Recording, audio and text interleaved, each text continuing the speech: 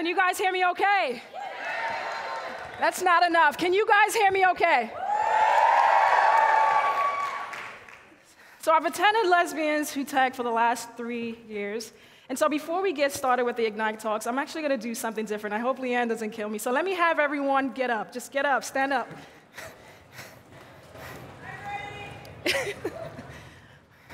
awesome. So what I realized is that right after lunch, we all get the itis. We're going to shake the itis off. We're going to do a popular dance. And if you know this dance called Dab, give me a round of applause. If not, we're going to run through a quick tutorial. So here's how it goes. Pay attention. I'm only going to do it once. You're going to pretend you're sneezing into your hands, and it goes like this. Can everybody try that? awesome. So let's do one quick tutorial practice, and then we're to go after this. Ready? I'm to say, pipe it up, and when I say dab, you guys dab, okay? You ready? Pipe it up, dab. Woo, that was good. that was good. We're to do it twice. Pipe it up, dab. Pipe it up, dab. Okay. Five times, and then we call it a day. Are you guys ready? Shake it off. Pipe it up, dab. Pipe it up, dab. Switch it up, dab. Pipe it up, dab. Switch it up, dab. Give yourselves a round of applause. All right, so really excited to bring the Ignite Talks to you. And for those of you who are not familiar with Ignite Talks, it's really an explosive five minute presentation by some really amazing speakers. Okay, so without further ado, we're gonna go ahead and bring up the first uh, speaker. Let me tell you a little bit about Perry. Perry's born in the UK, raised in Germany. She brings passion and unique perspective to training adult coders. She's really proud that her organization has a strong commitment and inclusivity and diversity. Please welcome Perry to the stage.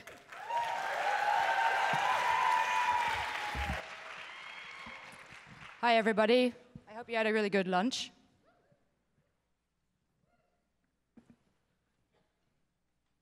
All right, yes, indeed. My name is indeed Perry Ising, and um, I'm a developer and also an educator. I'm down from Portland, Oregon.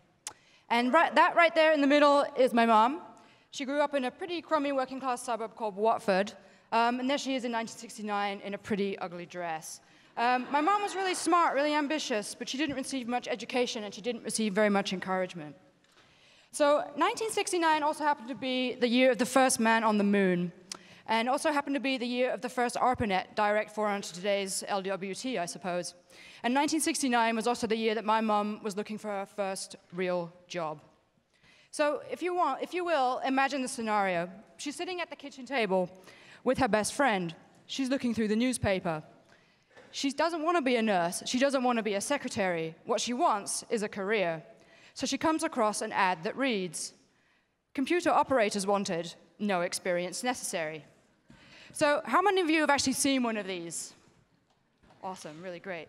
Um, so the ad reads, Computer operators wanted, no experience necessary. So my mom turns to her friend and she says, What exactly is a computer? And her friend sort of looks at the ad and turns back to her and says, Well, doesn't really matter, does it? It says you don't need experience. And so that's how in 1969 my mom became a computer operator for the Sellotape company. She took her first step and became a computer operator. Sellotape is basically like Scotch tape in Britain. So she was really smart and she was really ambi ambitious and she pushed herself really hard. So she ended up becoming a senior operator, then a programmer, then a lead. And she worked for really amazing, huge companies such as Parker Pen, American Express, IBM. By the way, how awesome was Edie Windsor? So she was, so she told me these stories of working on these giant, giant computers like filled entire rooms, these massive mainframes. And sometimes she would be like sitting at the kitchen table, debugging code by hand on these like massive stacks of printer paper and, uh, until late into the night with a pen, and then I'd hear a shout when she found like the missing bug.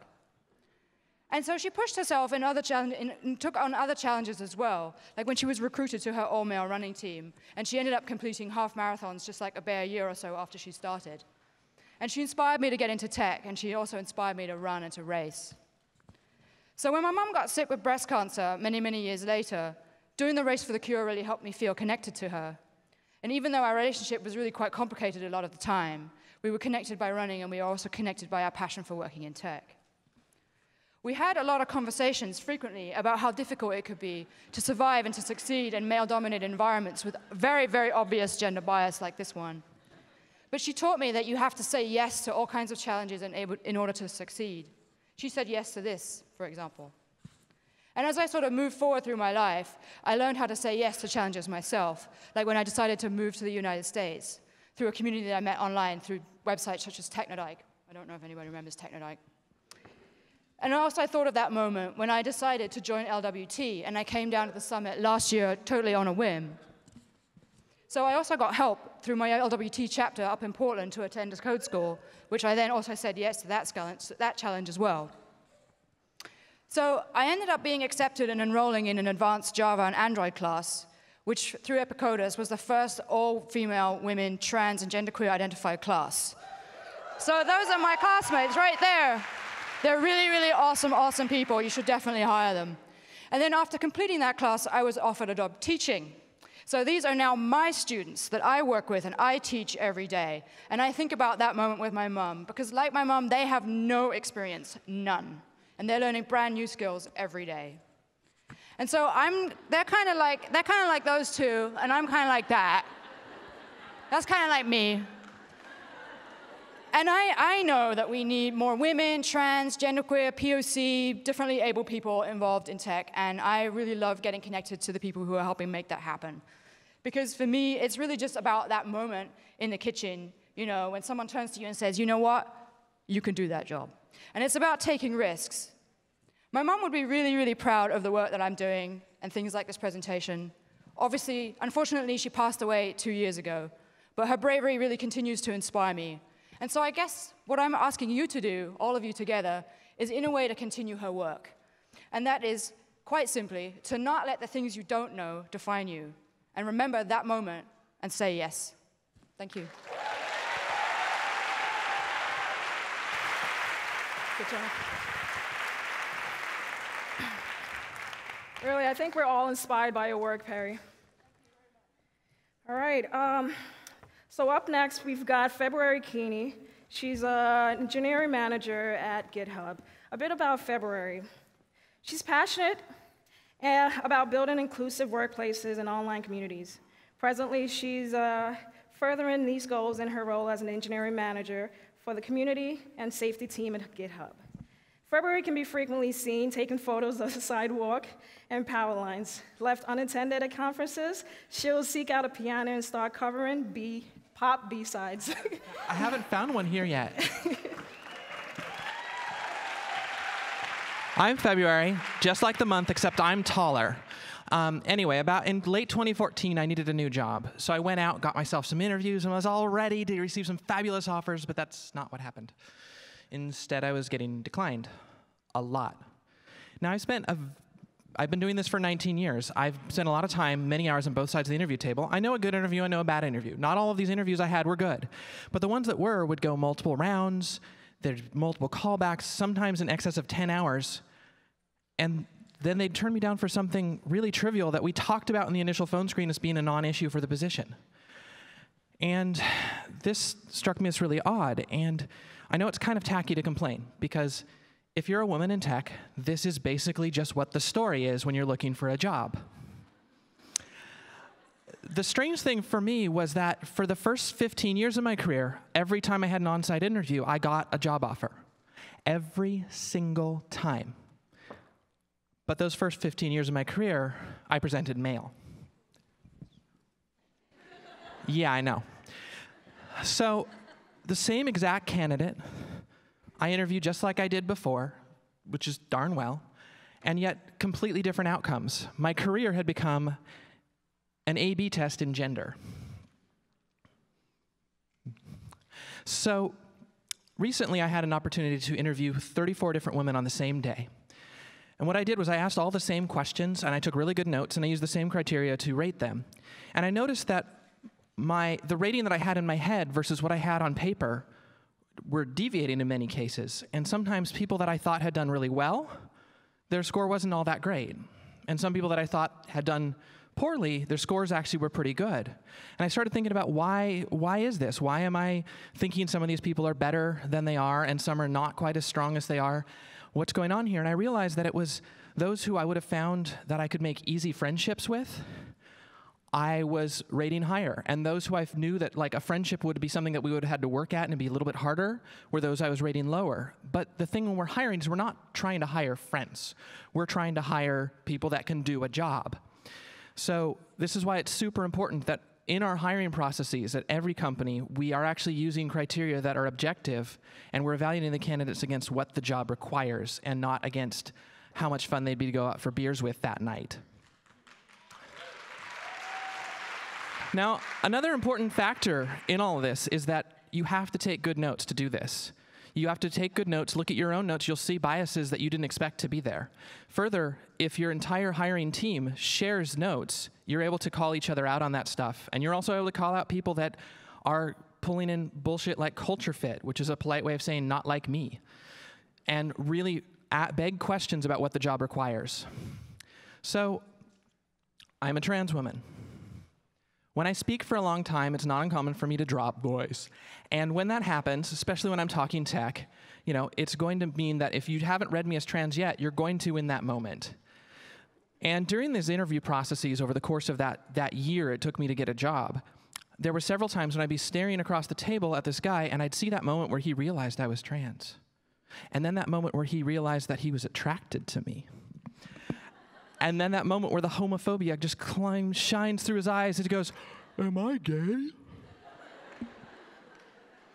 no. No, you're not. It means you're straight. And even if you even if it didn't mean you were gay, what's wrong with being gay? Asshole. so the thing about this is is that all these assholes have to do to keep me from getting a job is say, she's not a good fit. They can even otherwise give me a very positive and glowing review. We have to call out this type, these types of, of non qualifier statements, these vector biases, when we find them in the hiring process.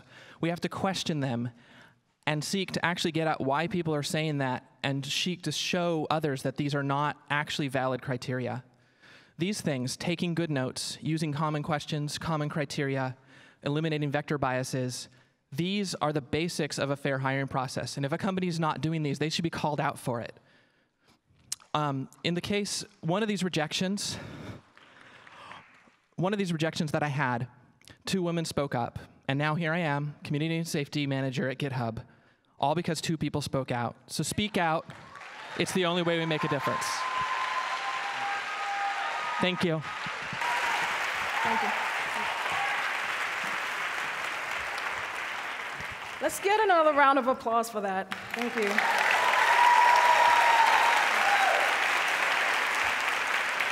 Awesome. Up next, we've got Lisa. Lisa is a founder of Women, uh, Wonder Women Tech. Okay, Wonder Women Tech.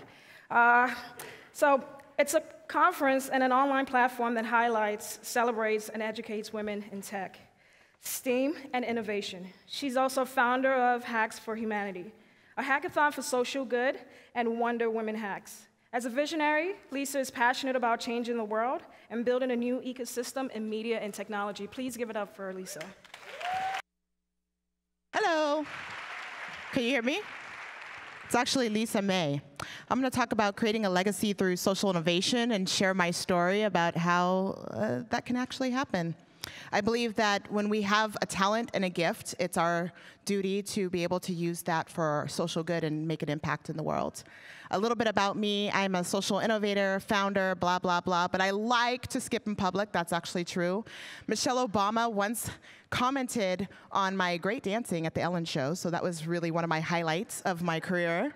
Um, and I came out at 30 years old and I love hugging. So uh, be, be aware, because I may hug you. I've hugged over 8,000 people, um, and that's a true story. And so um, I believe that hugs and sharing hugs are the way to make friends. Um, I'm a serial entrepreneur. I started Equality TV six years ago. I bootstrapped it for six years, decided that that wasn't going to actually make me any money. Um, but I'm still very passionate about it. I will pick it up later on, but it's, um, I get to do things like build PSAs. I did a national PSA with Nicole Kahn um, and Jen Foster, She For Me, look it up. It's a great music video. So those are some of the things that I've done in the past with Equality TV. Um, but I'm really very excited about moving forward, and I decided that I needed to do something bigger. So I launched a global photographic campaign called the Equality Campaign. We launched in 17 cities, five countries, zero budget, but I did have Lady Gaga's photographer do an event in Toronto for me. And this was the end result. We asked people, what will you do to make equality go viral? This was my photo. Um, and that's how I was going to make equality go viral. We had thousands of people participate, and it was really actually a very interesting uh, campaign that I will pick up. Um, I became the founder of my first hackathon. We did uh, an event at ASU where um, we were invited to do a hackathon for social good. So people built mobile apps um, for social good using things like forgiveness, kindness. Um, sorry, I have allergies. And then I became the founder of a second hackathon with Wonder Women Hacks, um, where we built mobile apps for women uh, and girls, uh, issues facing women and girls for the California Women's Conference. Sorry. um, I believe then that uh, it's very important to invest in a woman. We're natural innovators. So um, I realized then when we had the Commission on the Status of Women approach me to do a, an event for um, the city of LA, I decided to say yes, and Wonder Woman Tech was born. So we did a conference that was sponsored by the city of LA, produced by the LA Auto Show um, in the historic Spruce Goose, where um, the historic airplane hangar where the Spruce Goose was built. We had over a thousand attendees. Very awesome.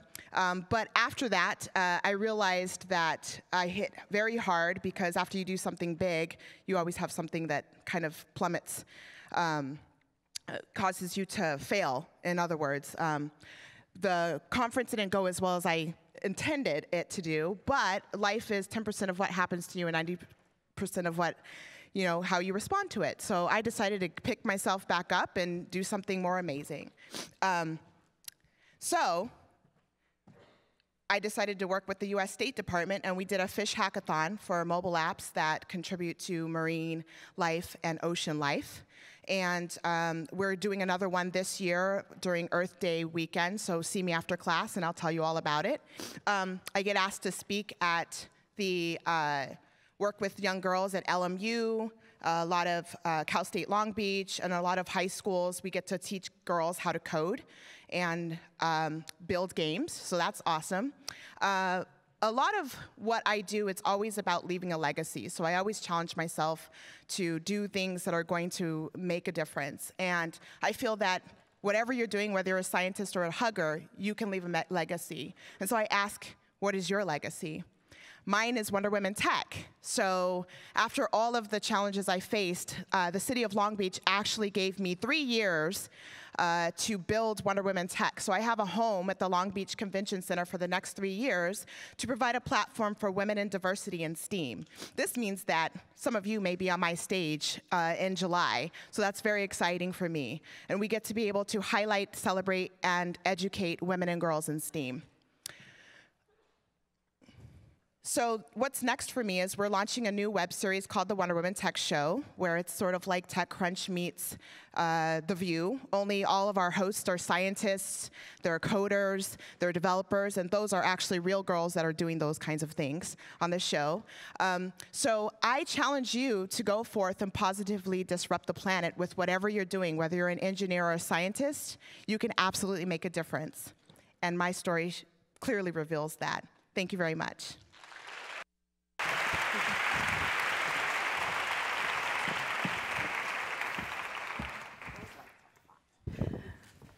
One more round of applause for Lisa Mae.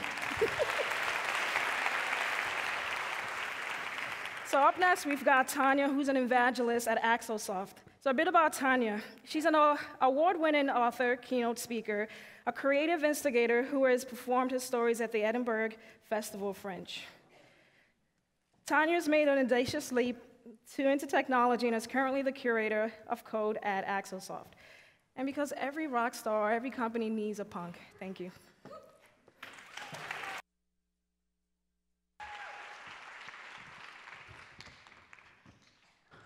Hi, hi, hi. I prepared a talk today for lesbians who theater, but um, this is lesbians who tech, which I can't believe. So I'll be talking about uh, disbelief. That's a good topic. Suspension of disbelief. It's actually the cornerstone of theater. Suspension of disbelief is uh, when we gather in a theater, like we're doing right now, and we decide collectively to let go of everything we know to be true about the world around us, all assumptions and perceptions, and together we take a gigantic poetic leap of faith into the unknown. And that's how I landed in tech. I got a phone call from a cool software company called Axosoft, and they're like, Tanya, we've been watching you. We'd like to talk to you about software. And I'm like, a little creepy, but I'll talk to you. I knew nothing about software, so I took a leap and had a meeting with the CEO, Laudan Shojai. And she's this uh, like petite, very firecracker direct person. And she's like, We brought you in because we really love your energy. And I'm like, oh, I came in because I really like your energy. And she's like, uh, But we're not offering you a job. And I'm like, I don't need a job. And she's like, But we've always wanted an evangelist. You'd make a great evangelist. And I'm like, An evangelist? That would freak my Jewish mom out. yes! I would love to evangelize with you. So I took a leap and landed in my first week of work at a tech company knowing nothing about technology. So I went up to Laudan during the first week and I'm like, okay, so what's this really cool tool that I'm going to evangelize about? And she's like, oh, it's an agile project management software for software developers, you know, SaaS. B2B. And I had no idea what was coming out of her pie hole. I'd never heard those words before. I mean, B2B, I understood. Who, that's when you convert one of your bedrooms into a charming hotel. right? But the rest, and so if this was like the film of my life, the scene two would be like a voiceover that's like, Month two, a lonely lesbian stands at her stand up desk, looking over hundreds of computers to the horizon, wondering, why the did I take this job? So, month two, Laudan comes to my colleague Sarah Breeding and me, and she's like, We are going to support the Girls in Tech conference here in Arizona. I want to show up in a big way, so come up with a big idea. Nothing like a pushy boss to get you going, huh? So, we brainstormed and we came up with nothing. So, I went for a walk. And I'm walking and I'm thinking about girls in tech and women in tech and women in all spaces and how oftentimes we're not seen, heard, or celebrated for the superheroes that we are. And what if we could take principles of theater and weave them in and out of technology, right? I mean, what if we could suspend disbelief and jump into a world where women got paid as much as their male counterparts? And what if we could and, and, and what if we could fly in, into a world where women made up 50% of C-level positions? And what if we could land in a classroom where a 12 year old girl takes a coding class because she sees herself in the female teacher, because she sees herself in the girl sitting next to her, because she sees herself and I saw a symbol in my mind's eye on the walk. And I knew that the symbol would be easily recognizable across cultures and genders. And I came back to the office and I'm like, Sarah, I've got a symbol. She's like, awesome. I'm like, no, but I think she's wearing a cape.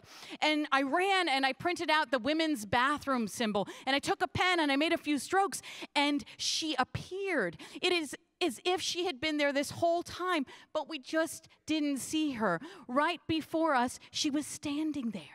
And so we launched the It Was Never a Dress campaign. And when you say campaign, oh, All your applause have been so delightful. I'm just going to luxuriate in them as I have 40 seconds left. So here's what I'll tell you. You can you can you can watch the rest of this story. I just gave a TEDx, lucky me, um, about it. You can see it online, and I'm going to let you experience it for the next 30 seconds in silence.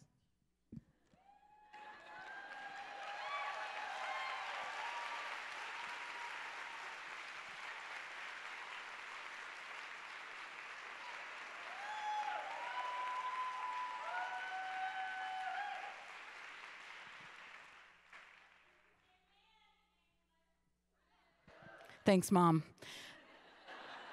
I will give this single call to action. It's important for the arts and technology to merge together because we have to create some unknown worlds together. That's my time. Awesome. Awesome.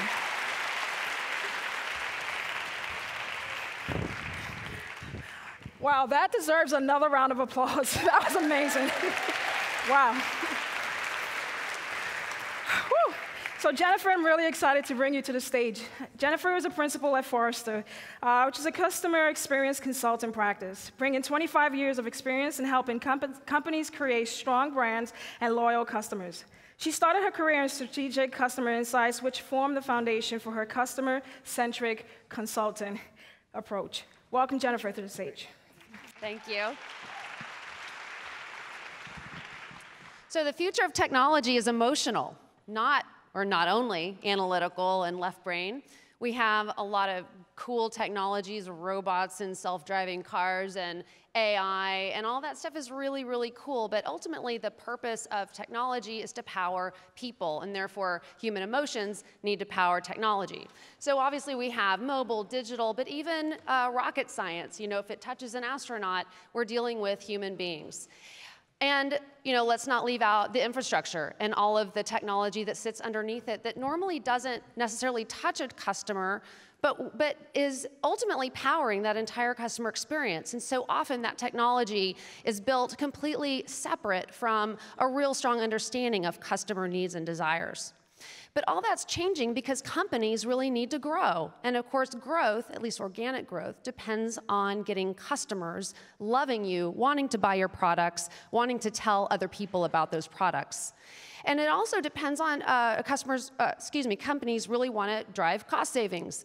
But cost savings is driven a lot of times by digital, increasingly, by digital lowering the cost of interactions. How companies, uh, how customers are interacting with your company through e commerce, adoption of new technologies, and so on. So ultimately, the goal of technology is behavior change, it's dealing with people.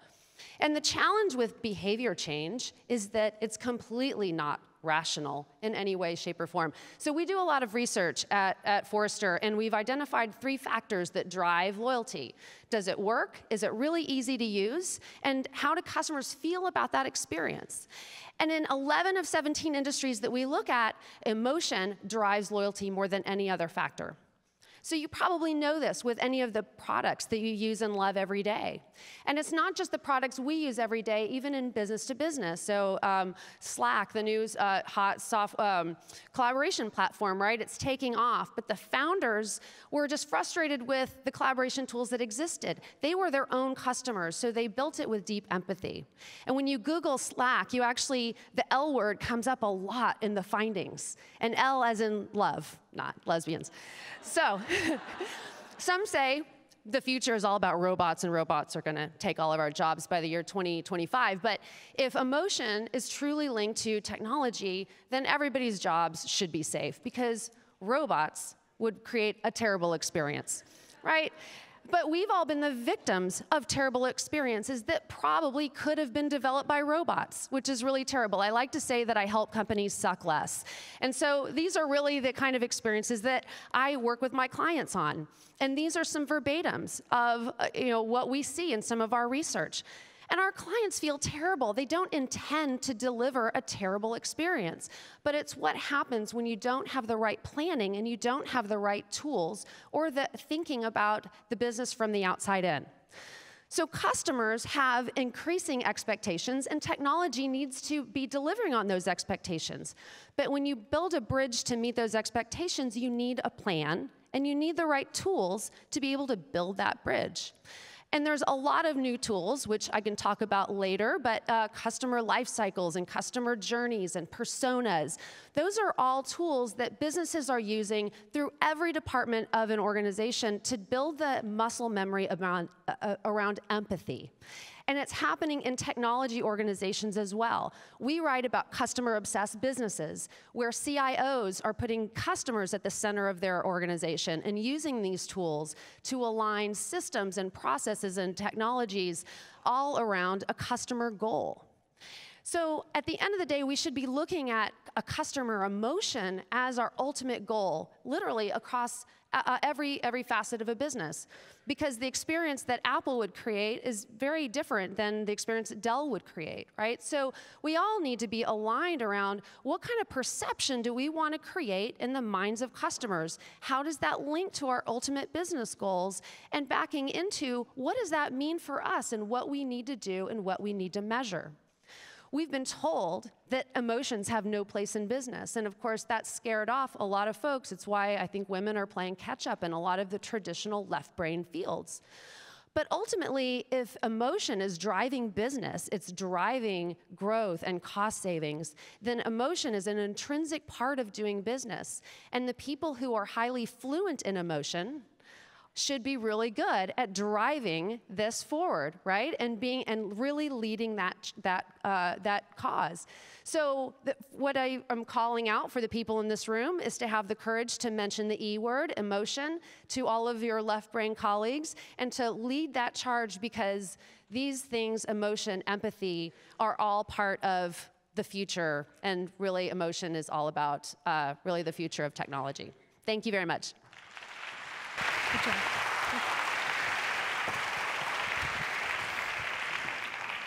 Another applause for Jennifer, please. Thank you. Last, but certainly not least, excited to introduce Ari Wengroff.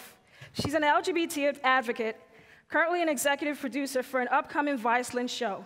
She's an associate producer for the award winning series Vice on HBO, a Wainwright Poetry Award winner, she co founded the Barn Owl, blogs for the Huffington Post, and her work is published in the United States and Europe.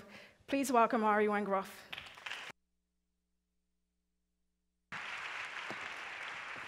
Hey everyone. Uh, so, for those of you who don't know, Vice is a, seen as the leading global youth media company. We started as a little punk rock magazine in Montreal 22 years ago, and now, yeah, there we go. And now uh, we make content in 34 countries all over the world, and we're seen as being successful because, as we put it, we don't bullshit Gen Y. Uh, it has to be content that's made by young people for young people, and the, there's no group that you can bullshit less than women. So we made Broadly, which is by women for women about women, and it's content that comes from across the globe where we're giving uh, voices to people who haven't had an opportunity to share their personal stories.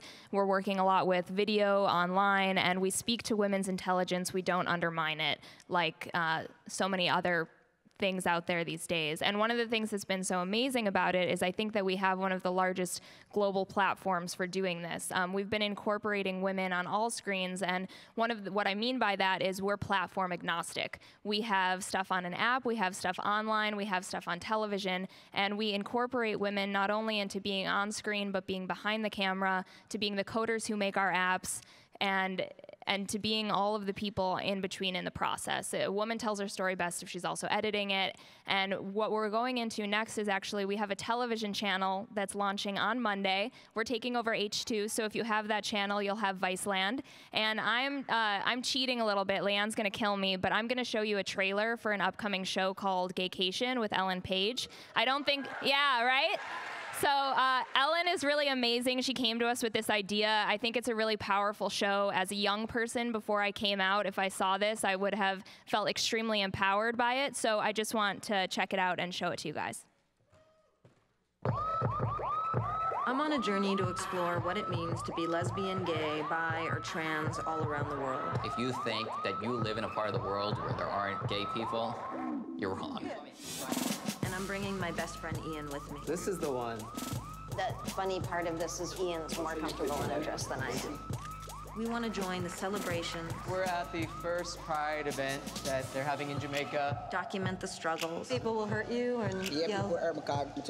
acid burn. Feel the love and the hate. There's a disorder in you, and I am not going to buy into that it is not a disorder.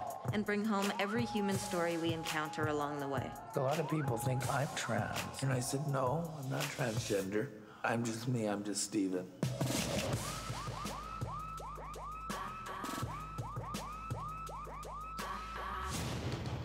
Actress Ellen Page went head to head with Ted Cruz at the Iowa State Fair Friday. LGBT people can be fired for just being gay or for just being trans. That just doesn't sound very American to me. This is my first time in the gay district of Tokyo, because in the past I was too closeted to come to the gay area. Here we are in Rio de Janeiro, Brazil, and despite seeming like a place that is sexually open, the issues that LGBT people face can be really horrific.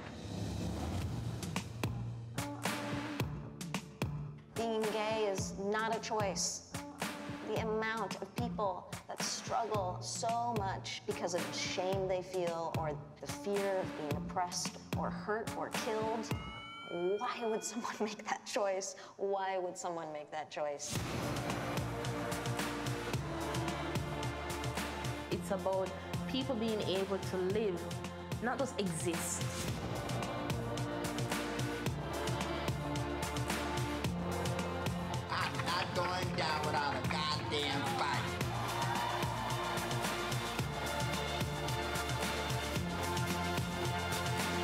Is our vacation.